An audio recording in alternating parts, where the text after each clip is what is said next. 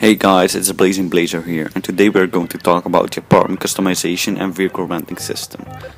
Please drop a like rating on this video, and if you're new here, don't forget to subscribe. So, the apartment customization. Can you imagine how awesome it could be if you could change your sofa and place it down in another position, or buy a new television, and if you have an expensive television, you could watch more channels? Or maybe you could get a new bathroom where you can maybe wash your hands after they got dirty. That would all be so awesome.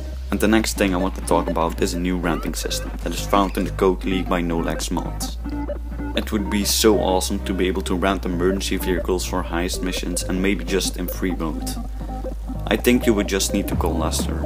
You could rent a vehicle for a small price, and maybe if you are lucky, we could customize the vehicle a bit like changing the color or put bulletproof tires on them. That would be so sick. That's all I had to say to you guys today. Don't forget to like, comment, subscribe and follow me on Twitter. Peace.